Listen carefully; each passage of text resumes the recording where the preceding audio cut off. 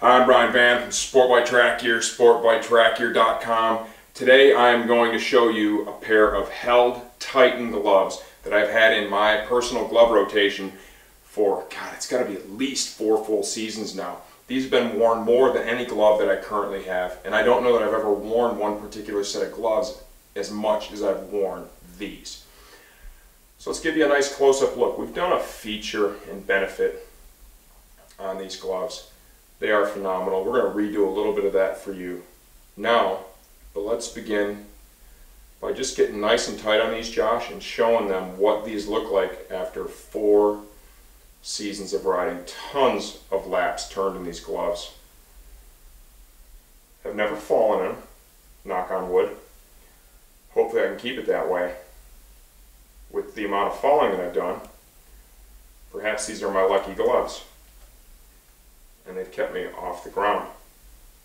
That's going to give you an idea of what they look like now. All the seams are still perfect, right? Everything is in great shape. They're a little dirty. They need to be washed. We are going to do a separate video on glove care. We're going to show you how to wash these. It's a very important step in taking care of a high-end product like this. It's something that I haven't done to these and I should have, right? I really should have taken better care of them than I have. That would even help to extend the service life because what happens with a pair of gloves is as you sweat, right, and soak the gloves with sweat, your salt, okay, salt from your body ends up in the hide. That can cause the glove to rot. It weakens the hide, period. And that is one of the main reasons that a glove can prematurely fail to wear out before it really should have. You need to get that out of there. Okay, I failed to do that, and this pair of gloves has still treated me very, very well. Okay? Quick feature and benefit. We'll start with the palm. Huge area of stingray. Okay? Right? We've got some energy absorbing material stitched in behind that. Carbon fiber slider here, carbon fiber slider there. The principle behind all this is simple, right? These all have a lower coefficient of friction than just the kangaroo hide would. When we fall, we all want to put our hands out. It's instinctive, right?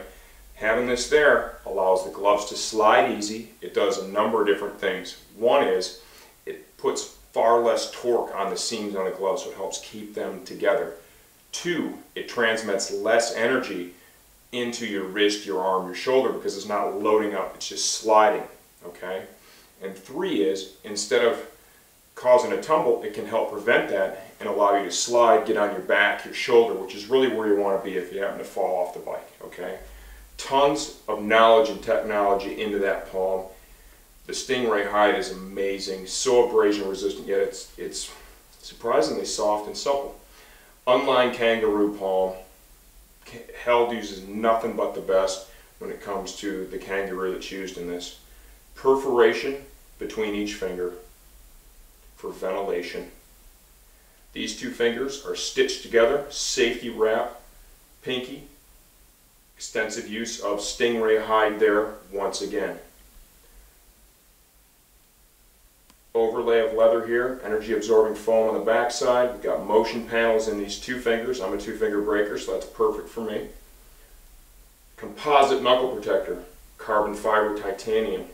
Got a motion panel here in the gauntlet, right? So when you make a fist, that's able to expand, kind of works in conjunction with the back part of the gauntlet here. There is a serious back of the hand protector in this area as well. Perforation here, Velcro closure at the wrist,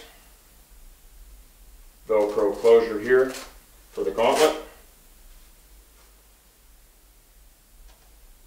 More Stingray, and this is backed up by a ton of energy absorbing foam, okay? Reflective piping if you're going to ride these on the street. This is a very technical glove assembled by craftsmen. Okay, The Kangaroo is all stamped in Germany. It's then trucked over to Hungary, and that is where the gloves are assembled in Held's high-end factory there. They do only the high-end Held gloves. True craftsmen, these things are literally works of art. Okay, no question. The purpose behind this video is to simply show you how well high-end product. I mean, most people, you see the price on these things, right? Well over 300 bucks. You're like, man, that's a lot of money for a pair of gloves. That's crazy. Just give you a look at the inside, the Kevlar mat. Right, you can kind of see some of the, the wear from the in and the out. I've had these things on and off a million times. They've served me well. If these gloves are in your budget and you've looked at them before and you've considered buying them, right, I would definitely give these my endorsement. They've held up well. We've seen others that have crashed and done a phenomenal job. Held has a great reputation. This is a great pair of gloves. They size consistently. I think I said that earlier. I'm wearing a size 11 in these. I wear a size 11 in the Phantoms, right? A little snugger than the Phantoms, right? But still broken. Gave me a perfect fit. Definitely one of our most recommended products. These are the Held Titan Kangaroo gloves. Four years into it. I'm Brian Van from SportbikeTrackGear.com. Stay tuned for that next video. We're going to show you all how to wash these gloves and take good care of them.